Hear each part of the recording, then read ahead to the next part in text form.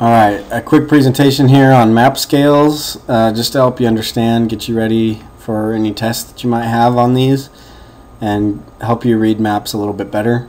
So some common scales that you'll see on maps are verbal scale, ratio scale, and a graphical scale.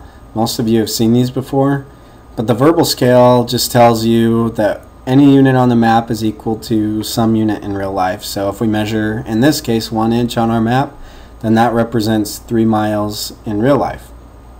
Ratio scale is similar to the verbal scale, but we need the same units to be able to create the ratio scale, and I'll go into that in more detail later, but essentially it just says one of any unit that you measure on the map, so if you measure in centimeters or inches or whatever, it doesn't matter, it equals 300,000 of those units that you measured in real life.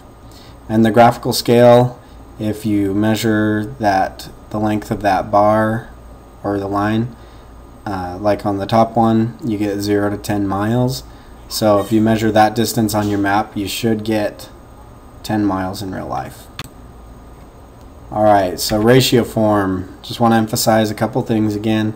Remember, ratio form is unitless. In order to derive it, you need to use the same units, but then in, in the end, when you have your ratio scale, it's good for any unit that you use. So anything you measure like inches or centimeters on your map, it should equal so, so many inches or centimeters in real life. Alright, so how is this done? Here's our bar scale. So we see that that distance is 0 to 12 kilometers. If we measure it, it comes out to be 3 inches. So our verbal scale would say 3 inches equals 12 kilometers.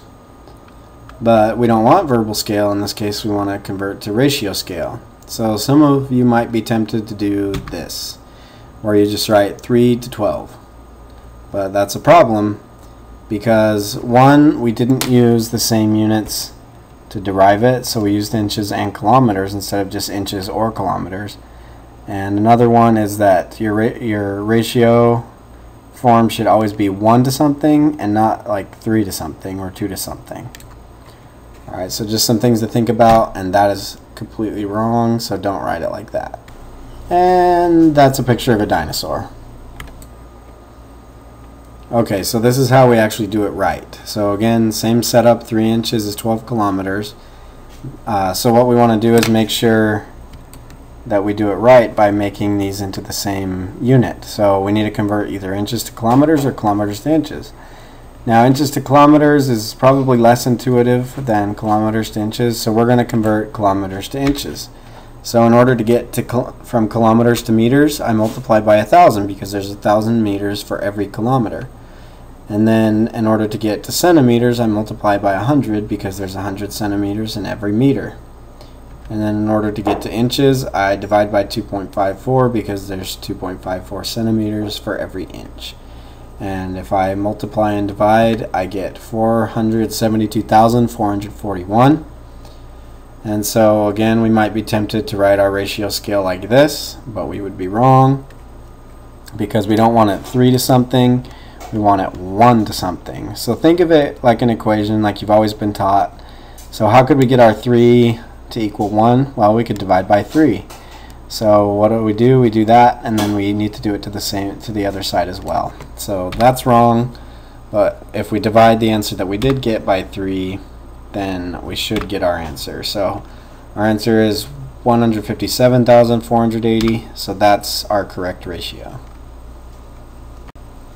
Alright, one other way to think about this really quick is instead of dividing by 3 at the end, we can just chop up our bar scale into three sections so if we measure instead of 3 inches, we just measure 1 inch from the beginning.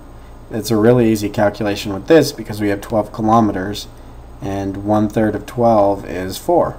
So 1 inch equals 4 kilometers.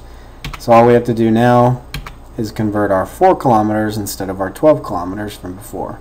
So again, we multiply by 1,000, we multiply by 100, and we divide by 2.54, and we get the correct answer 157,480.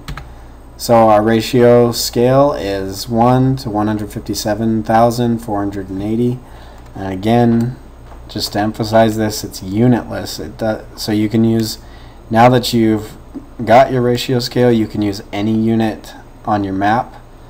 Um, so you could use centimeters, inches, feet, whatever you want to measure in on your map, and it will represent that many of that same unit in real life. So I hope that helps you. Good luck.